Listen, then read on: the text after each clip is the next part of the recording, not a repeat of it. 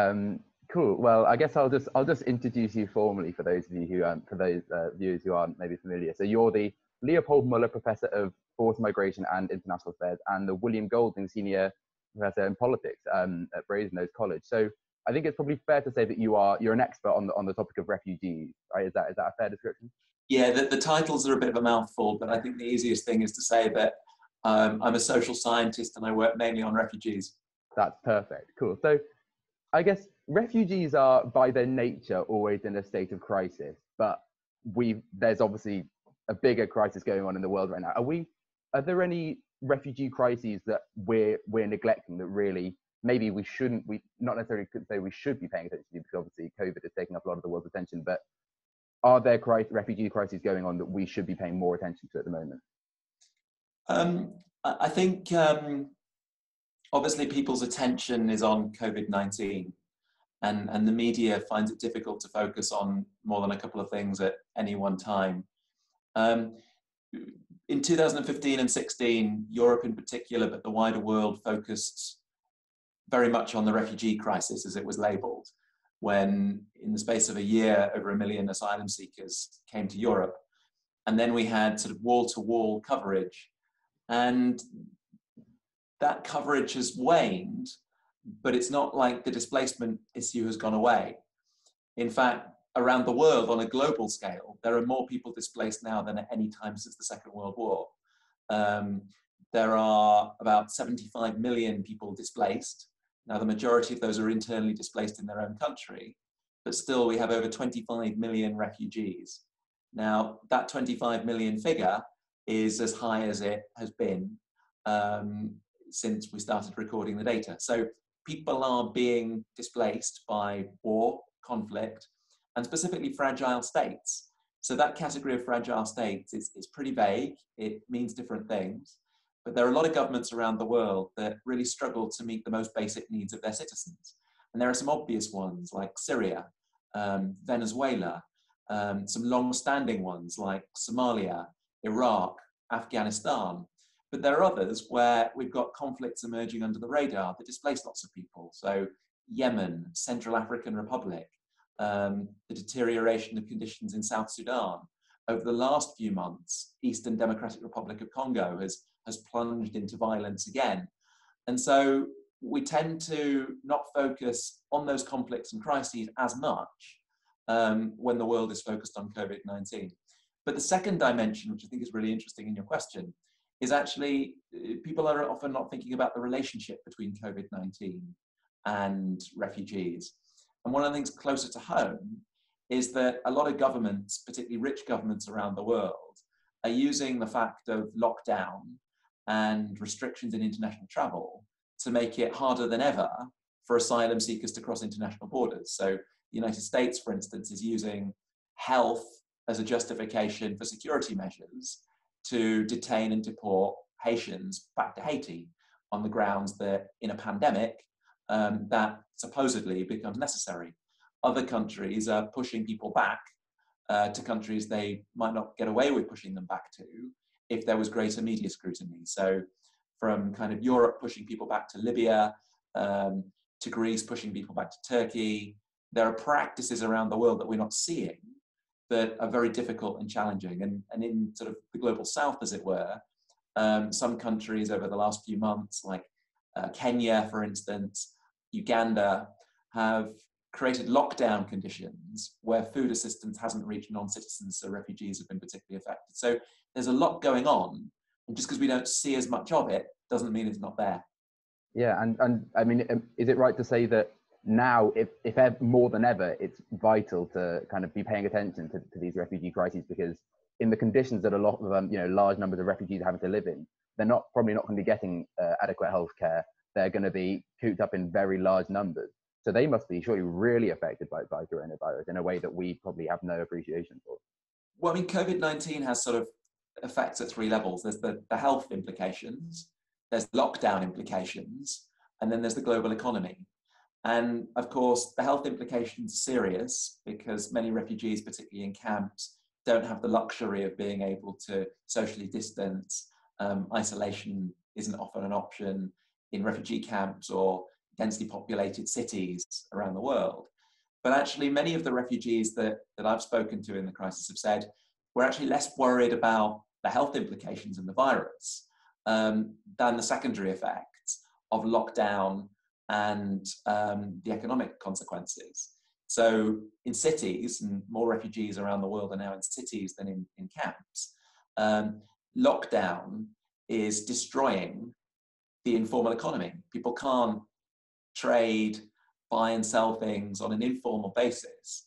And the informal economy is the lifeline um, to refugees in cities that don't have access to humanitarian aid or assistance. And even in camps, the informal economy that surrounds those camps is often crucial and is affected. So that, that's an immediate consequence of lockdown. But I think the really frightening thing, in a sense, is that we're facing a, a global recession.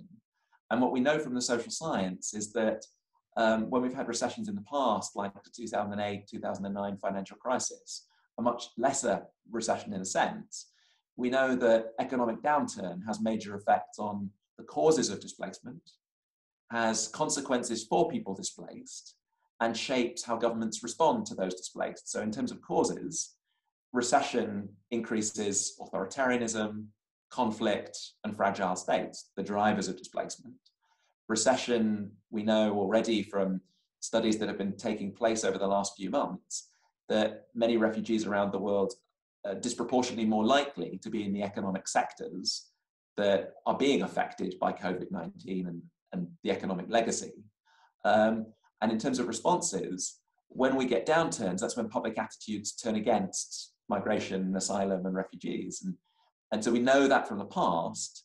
And so the economic implications will exacerbate at all levels. Put, put simply, needs will go up, but the willingness to provide, whether through opening borders or giving money, is likely to go down. So that's the context we're in. Yeah, and, and, and talking of economic downturns, we are obviously in the process of, of leaving the, the European Union, who have um, recently unveiled a new migration pact. Are you concerned about the fact that Britain now looks to be taking less of an active role in the kind of uh, in, in migrant crises and, and, and in taking in refugees when really it should be taking more of an active role? I mean, I think the UK was always sort of at the margins of the European Union when it came to asylum and immigration policy. And it, it, it's had the luxury, of, if you put it that way, of um, being able to hide behind territory and water. And so the rules of the common European asylum system have meant that it's the first countries of arrival, countries like Greece and Italy, crudely the frontline states that have responsibility for assessing asylum claims and protecting those people uh, as refugees. So the numbers coming to the UK have been small, and the UK has, where appropriate or where it felt it appropriate, exercised its veto to not contribute to things like relocating large numbers of people from Greece and Italy, uh, or contributing significantly to EU budgets to, to address refugee and displacement issues. So Britain's position has always been a bit marginal to that. Um, over the last five years, British refugee policy became about restricting the numbers of so-called spontaneous arrival asylum seekers, essentially the number of people that come across the English Channel. We see more of that over recent days, and trying to focus more on resettlement, taking a small number of vulnerable people, particularly focusing on families and unaccompanied minors, directly from refugee camps alongside using DFID to put large amounts of money into humanitarian and development aid in the neighboring countries where most refugees are based, countries like Jordan, Lebanon, Turkey, etc. Now, what's happened is we've seen um, even greater restriction than ever in the UK um, on spontaneous arrival asylum. The language we've heard over the last week is that the British government, and particularly the Home Secretary, want to end that route. They want to make it no longer viable to spontaneously cross the English Channel. Now, the difficulty with that is that's about the only way you can claim asylum in Britain. To claim asylum in Britain, you can't make a claim generally outside of Britain. You have to get to British territory.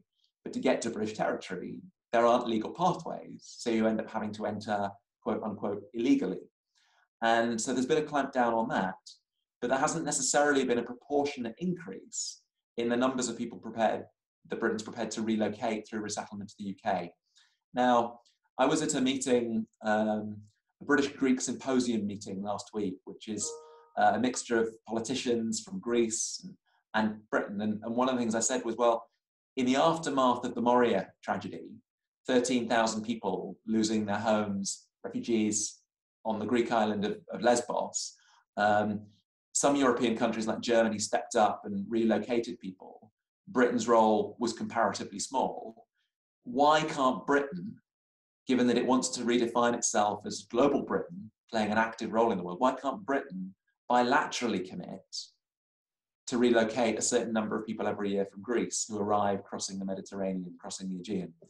And I think that's where Britain needs to play a role. Now, we need to recognize that it has to be politically sustainable, that trying to argue that Britain should take a, a, a really open door policy is not going to fly politically.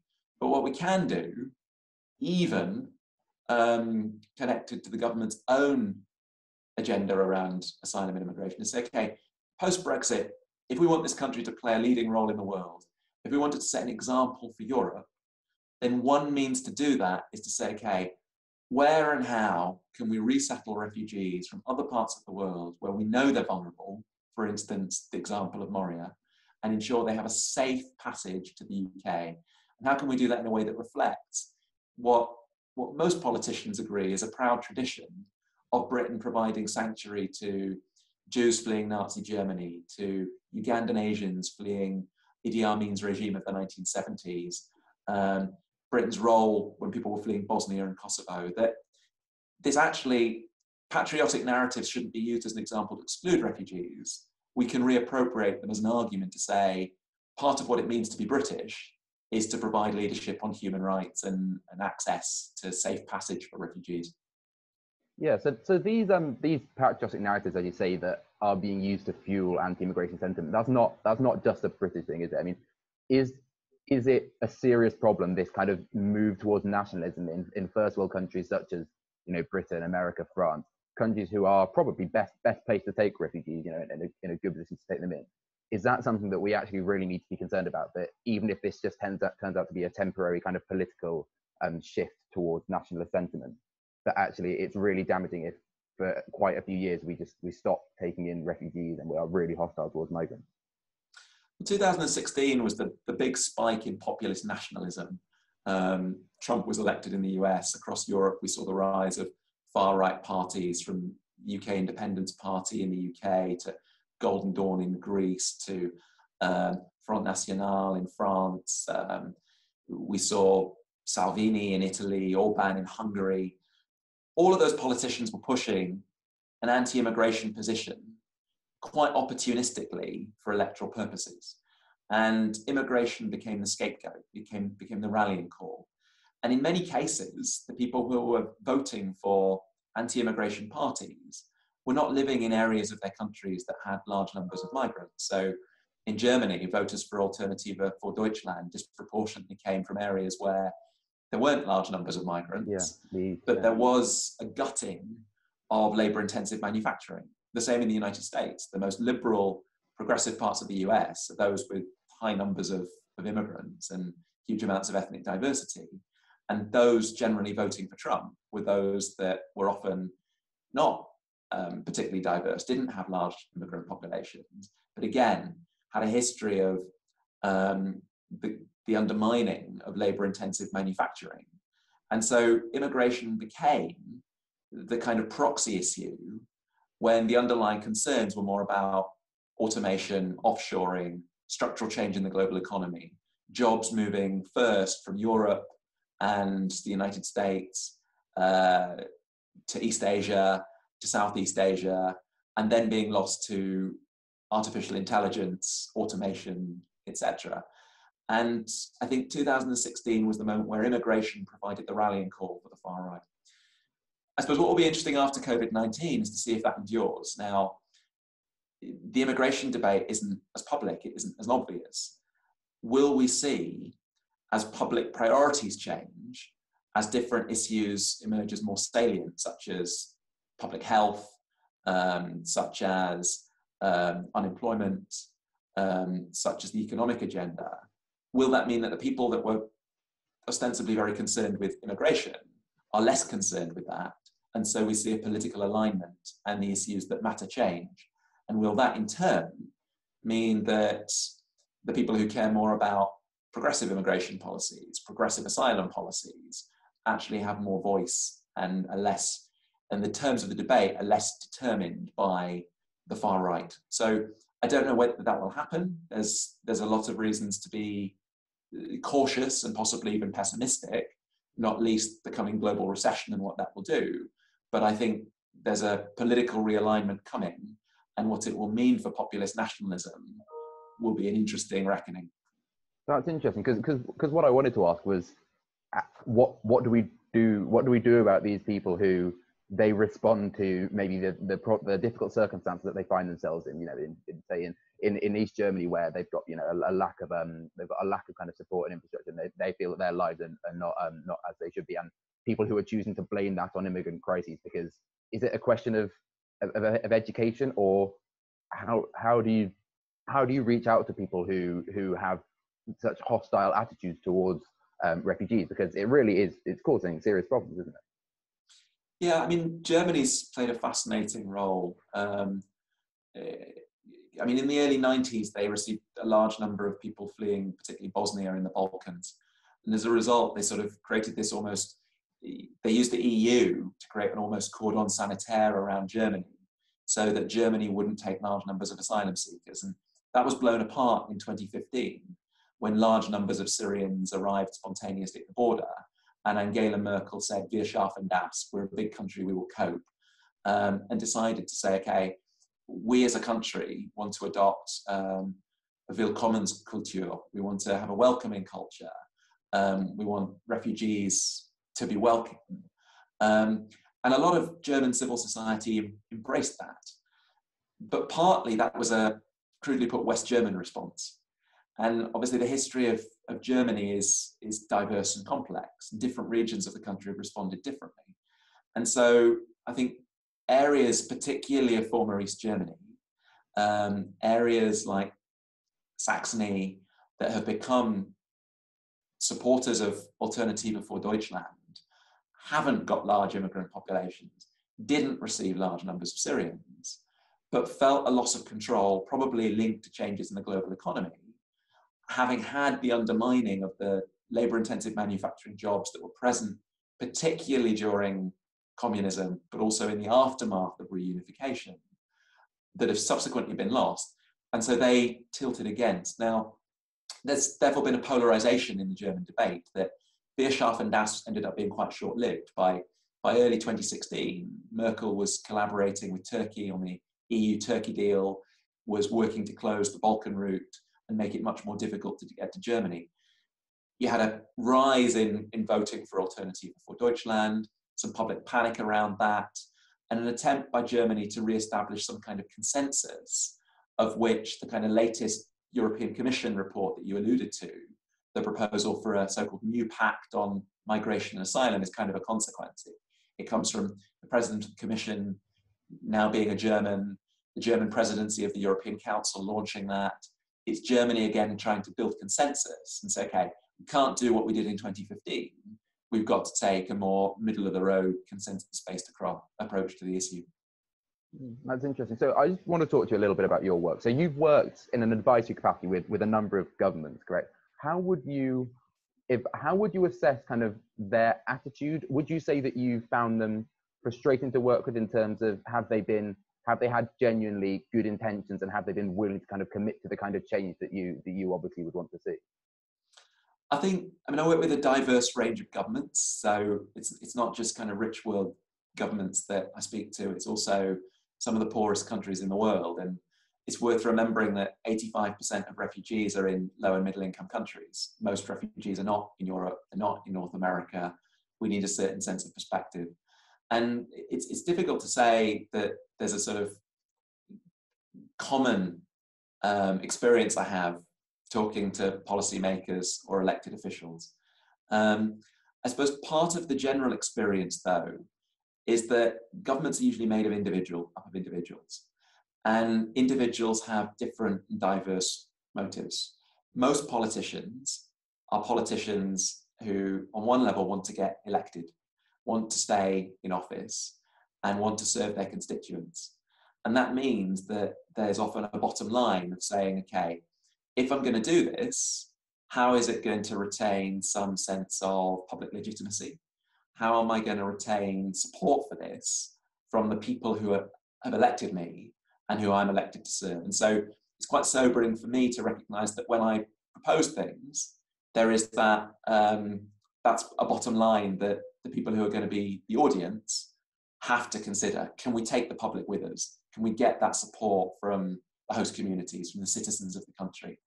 And I think that's a fairly universal experience. Now, a lot of politicians go into politics because they want to do some good in the world, because they want to serve. And so the challenge for them is how to reconcile doing something good that supports the protection of refugees, supports human rights, but balancing that against the concerns, valid or sometimes invalid, of citizens in the host society.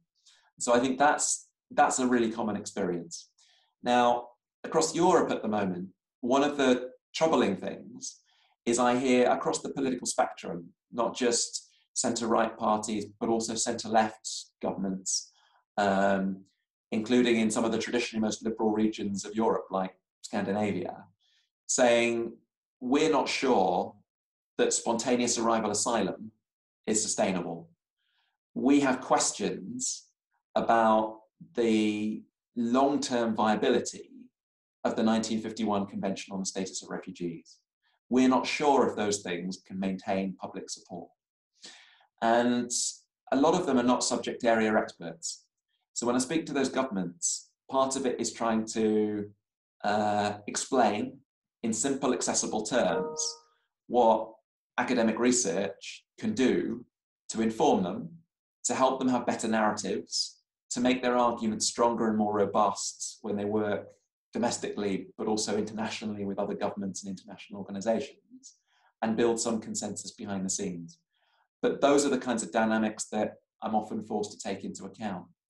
When it comes to countries in the so called developing world, lower and middle income countries, there's often a different set of concerns. There's a concern about, okay, we as countries take in large numbers of refugees, we, we fulfill our obligations as best we can, but we often don't get the support internationally that we think is needed. So they're often concerned to attract development assistance, humanitarian assistance, but also private sector investment that can benefit the refugees they're hosting, but also benefit citizens. And so I often hear from countries, whether it's across East Africa or Latin American countries hosting large numbers of Venezuelan refugees, the question of what can we learn from other parts of the world about how to attract more development assistance, more private sector investment that can, yes, help us integrate refugees, but also benefit the entire region they're host, in which they're hosted. So it's kind of a case of finding a way of which a good refugee policy for those countries can also be a good host community policy. How can there be benefits for everyone? How can it be win-win? And so part of of my advisory work is about knowledge, information, evidence, comparative analysis that gives examples to politicians of where best practices work, where they can try different things. Part of it is often about um, trying to build behind the scenes the basis of some kind of consensus across and between those governments. So being able to um, allow hosting governments in the global south to understand some of the positions of northern donor countries and enable many northern countries to also understand the position, difficult positions that many host countries are in and, uh, and sort of cross-fertilize some of that knowledge and evidence. That's really interesting. And how, how would you, uh, this, this may be difficult, but how would you kind of compare the governments you've worked with to maybe, like say the businesses and the, the international organizations? Like how do they has there been noticeable difference in kind of the way they function, like their the way they kind of how committed they are to, to kind of um, to, to making change and, and, and achieving things and sort of to more kind of altruistic things because a lot of people have quite negative stereotypes about say you know international or international like bodies that um, the kind that you've worked with but how have you found them to work with compared to government i mean just really crudely i mean governments exist primarily to serve their citizens and so that forms a major constraint um, international organizations mainly exist to serve governments, albeit, they, albeit that they often have mandates that are longer term, which means that they can hold those mandates up and try to say to governments, you need to be accountable for the international legal standards you've committed to. And businesses, for the most part, have to be accountable for creating shareholder value, um, but can sometimes have other bottom lines that are not just about profit, but are also about sustainability, social impact, etc. When you work with um, with governments, it's again often about the individuals. Where do their own values and commitments come from, and how how much leadership are they prepared to offer to take risks to articulate something that takes the population with them rather than just following what they see the opinion polls as telling them. When you work with international organizations, it's again about finding people who are prepared to take a leadership role and take risks to say, okay, we know that the governments that fund us want these things, but we're prepared to speak back to them and provide some direction and leadership using our moral authority, using our expert authority. And I suppose my worry with many UN organizations is finding the personalities that are bold enough, uh, entrepreneurial enough to take those risks, to lead governments rather than just follow governments. And when it comes to business, I think there's been a rising interest in multinational corporations in refugees since the refugee crisis. But a lot of it's led by corporate social responsibility departments, uh, sustainability departments, the side of the business that crudely is looking to associate the brand with doing good things in the world. And what needs to happen is that it needs to be more at the executive level, it needs to be CEOs, it needs to be boardroom level engagement in order for the commitments to be meaningful, to be about job creation for refugees, to be about integrating refugees in supply chains, to be about making private sector training and upskilling available to refugee communities around the world. And so there it's about, again, finding leaders at an individual level who are CEOs who can take their company with them, that can persuade shareholders that there's uh, a multiple bottom line, that this can work with the core business, but also do good in the world. So the commonality across all of those types of organization is it's about finding the individuals that are prepared to lead rather than just follow and in some cases take a bit of a risk. Okay, so uh, as we've as we've kind of um, touched upon briefly, you so you are in a sense an academic, but you have done a lot in terms of real world change. Because I, I, the, the, Jordan Compact, when I was reading about it, really struck me as, as quite um, very very impressive. How does it like feel for you knowing that you've noticeably changed the landscape of the area that you study? Was that always what you wanted to do, or is that something that you has, has kind of happened along the way? I mean, I, I am an academic, um, but I, I think social scientists um, have to be engaged with the world. So there are an infinite number of things we could work on. Um, but the choices we make about what we work on are ultimately motivated by what our values are, some of the changes we want to see in the world. And so I think social scientists need to produce knowledge that is evidence based, where if you make a claim, you can point to some body of evidence or research that supports it. Um, but equally, there's no point in that research just sitting in journal articles on, on dusty library shelves. It needs to get out into the world and produce change. And politicians and policymakers are not sitting in libraries, spending their whole time reading peer reviewed journal articles. They need policy briefs, they need people to explain the research to them, they need different media to present and disseminate that. And so part of what I try to do is that element of policy engagement and also public engagement to explain things to the public through the media, um, through broadcast, through uh, public talks, through books that hopefully some people can read who are not just in academia. Um, and I think that's an important role um, that social scientists can play and, and, and, should play in the world. And so I see that as an extension of, of what it is to be an academic in this area, particularly given how important and central it is to, to the world. Now, that doesn't mean that everything I say gets perfectly implemented. So you mentioned the Jordan Compact, for instance. Um, that stemmed from in 2015 um, when we had the Syrian refugee crisis. the host countries in the region being really skeptical about providing Syrian refugees with jobs. And Jordan, one of the few very stable countries in that region, didn't give Syrians the right to work. Um, it was worried that it would displace Jordanians from the labour market, that it would displace other migrant workers from Egypt with whom Jordan had a very strong bilateral agreement. And so, what me and my colleague Paul Collier wanted to try to do was say, was there a way in which Jordan could be persuaded to let Syrians work? And while we were in the country, we visited the Zaatari refugee camp, home to over 80,000 Syrians at the time. And we heard from refugees saying, we just want to be able to work. We just want to be able to support our families. And we heard from parents whose children had gone back to fight in Syria because of the lack of options and alternatives in Jordan. And we were taken to visit one of a number of pre-existing special economic zones that was just 15 minutes from um, from um, the refugee camp. And we were told that they had everything, but they didn't have anyone working there. Um, and yet we just heard 15 minutes away that there were lots of people who wanted to work. So we said to the Jordanian government, hang on, couldn't we put these things together and allow refugees to have the choice, if they want to, to work? And could we use that as a starting point to create, albeit a limited right to work, but an expandable right to work? And the Jordan Compact involved money from the World Bank, money from the European Union, money from the British government, going to support Jordan's response to Syrians, but also a commitment from Jordan to provide work permits to Syrian refugees and also allow Syrian businesses that had previously been operating in Syria to relocate onto Jordanian territory and set up manufacturing businesses in those existing economic zones.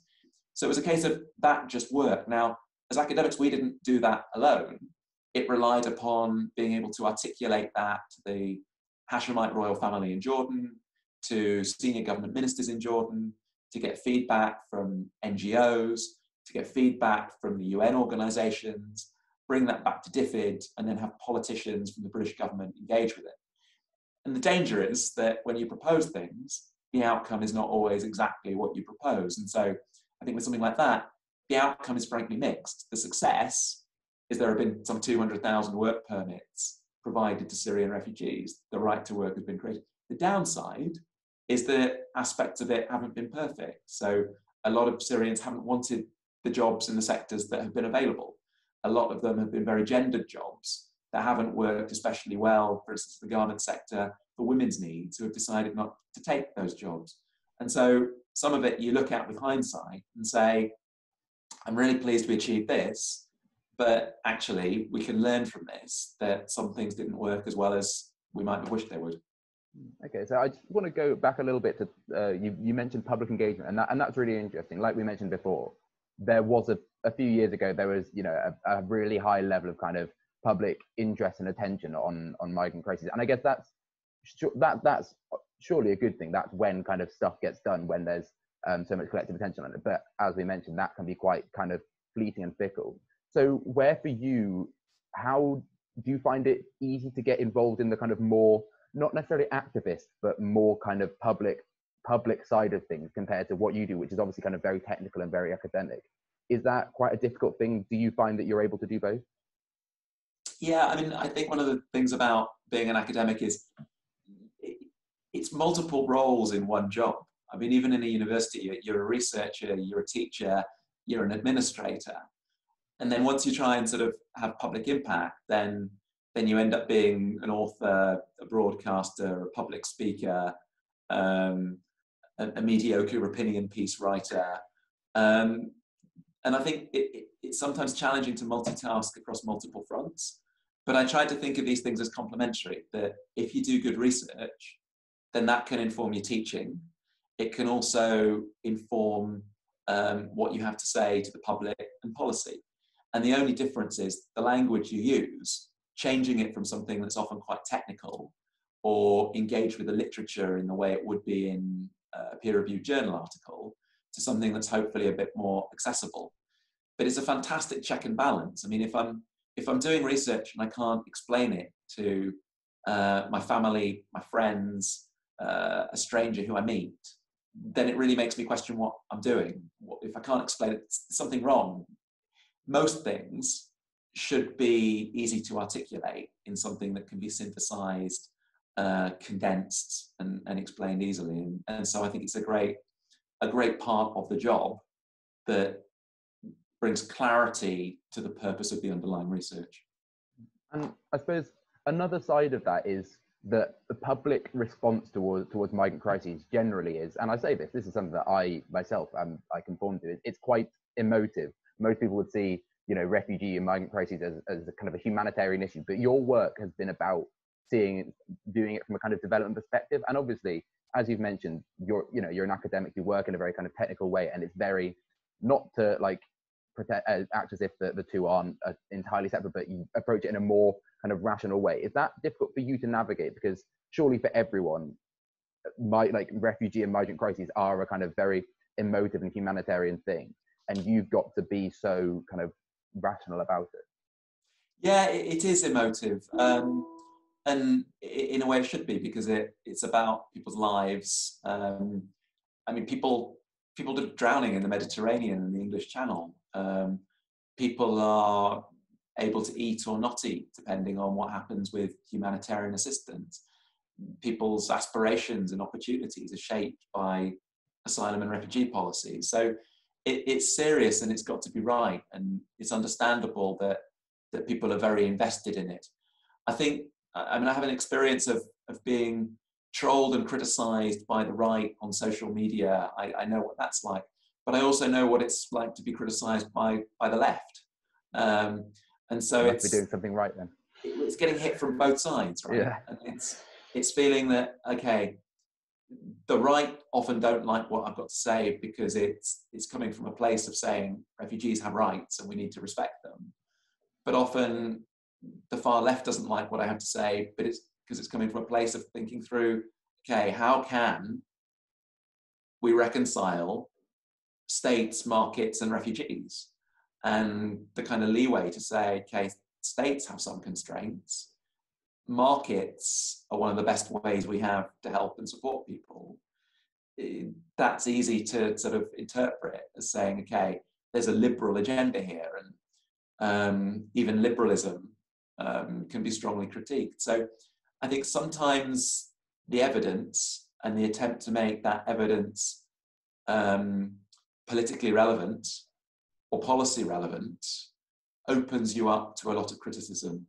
Um, but you get quite a thick skin, and I think the important thing is is to keep reminding yourself why you do what you do. And uh, one of the balances, balancing acts, is as an academic, you have the luxury of pure critique.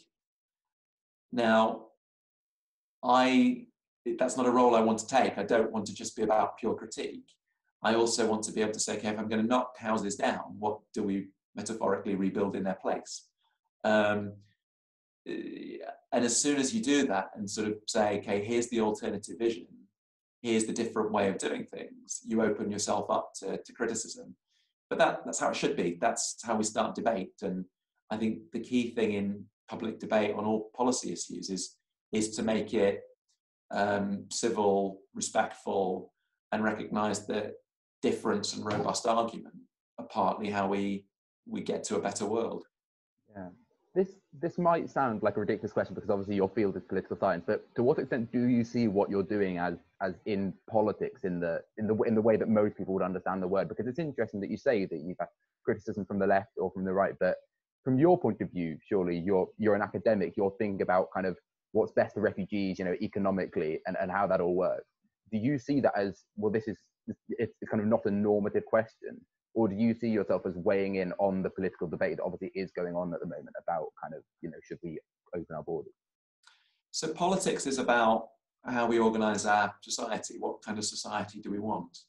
And academia has a role to play in that. I mean there are there are lots of pillars that support a healthy democracy. It's not just kind of um, executive legislative and judiciary as branches of government. It's also the media as as a check and balance. And academia has a role to play because it's about creating longer term knowledge and understanding that engages and supports evidence based public policy and supports a more evidence based form of, of politics. So to see academia as, as entirely removed from politics, I think would be wrong. The question is, what place does it play? And, and this is where I sort of eh, I shy away from terms like activist. I don't see myself as an activist. I see myself as someone um, trying to do research that is academic research on issues I care about and articulate that to the public. Now, in some cases, um, I have um, normative convictions, and those normative convictions, when they're supported by the evidence, I'm also going to push fairly strongly. Um, but those normative convictions are basically um, basically the elements of liberalism. The idea that if we can create more freedoms for more people without making other people worse off, then that's a good thing. But those assumptions kind of underlie my work. Now, political science is made up of, of different areas. It's made up of comparative politics, crudely about domestic politics and comparing across nation states international relations, which is about the international side, and of course political theory. And political theory is about normative debates. It's about the underlying ethics about what we do. And so in my work, I try to combine the comparative politics, the international relations, and the political theory, so that when I do make normative assumptions, I'm at least aware of what they are, can articulate what they are, and, and the basis for them. So, for instance, I've got a book coming out next year with Oxford University Press called The Wealth of Refugees. And it's, it's obviously sort of playing on Adam Smith's The Wealth of Nations idea, and it's a political economy work. Now, the sections of that are ethics, economics, politics, and policy. And the reason for that is I've got to start with the normative assumptions about the world we want to create in order to even begin to think about what the evidence tells us about what works, in order to then think about what persuades people to implement the things that work. So there's normative foundations you can't get away from, but I think as an academic, the key is to try and make them as as explicit as possible. Okay, okay. Um, so uh, we, we talked a, little bit earlier about, about about the work that you did and seeing refugees from a kind of developmental point of view, you know, viewing them as economic contributors and that, and that's what you did in, in the Jordan Compact to what extent do you think that we should see the kind of developmental and humanitarian perspectives as, as the same thing? Like, is it a human right for them to be able to kind of work and, and be economic contributors rather than being kind of the, the limited rights that we see refugees have in lots of countries? Do you think we should we should see them as one and the same issue? Yeah, I mean, refugee protection is a humanitarian issue, it's a human rights issue, but it's also a development issue. Um, I mean, when people flee a crisis, conflict, or persecution, they very often have extreme vulnerabilities and, and they need response. They need food, clothing, shelter, and crucially, a set of rights the right not to be returned to a country where they face serious harm. So that, that's the crux of it. But in addition to that, one of the problems we've seen around the world is long term, so called protracted refugee situations where refugee camps last not five, not 10 years, but sometimes 20 years or more. And children are born into those camps they grow up in those camps, they become adults in those camps. And traditionally, they often haven't had the right to work, freedom of movement, or other basic socioeconomic rights. And so that leads you to recognize that actually many of these people don't just have vulnerabilities, they also have capabilities. They have skills, they have talents, they have aspirations. How can we make more of that so that people can live in dignity and with some degree of purpose in the countries, some of the poorest countries in the world, that host the overwhelming majority of refugees. And so it's that premise that leads me to go, okay, this is also a development issue. That when we ask many refugees what they want, they want to be able to have meaningful work, they want to be able to have an education, they want to be able to be productive where they are and support themselves and their families, and have longer term prospects. So that when they go home, they can rebuild the country they're from, or if they get resettled or move elsewhere, they can access a job and be part of the labour market. And the reality of the default response to refugees of camps, urban destitution, or getting on a boat don't serve those functions. They don't lead, in most cases, to human flourishing. So the development idea is to say, let's change that. Let's reinvent what camps can be. Let's come up with alternatives to refugee camps. Let's do most of that where most refugees are which is some of the poorest countries in the world. But let's also recognize that when refugees do come to Europe, North America, Australia, they can also be contributors, not just economically, but socially and culturally, and that we need to support the whole human being, not just work on an assumption that these people are necessarily just vulnerable or just a burden. And the key to creating a sustainable refugee system, not just now, but in future when we have the results of climate change displacement, will be supporting people to help themselves and their communities, to be engaged contributors. And yes, it is a humanitarian issue. Yes, we've got to support people, but it's not just that. It's also about development and about capabilities. Hmm, well, that, that's very interesting. On that note, that's um, pretty much all we've got time for. I know you're, you're a very busy man, so um, thank you very much for your time. Thanks a lot, Elliot. Great talking no to you. I look forward to reading your book. Thanks very much.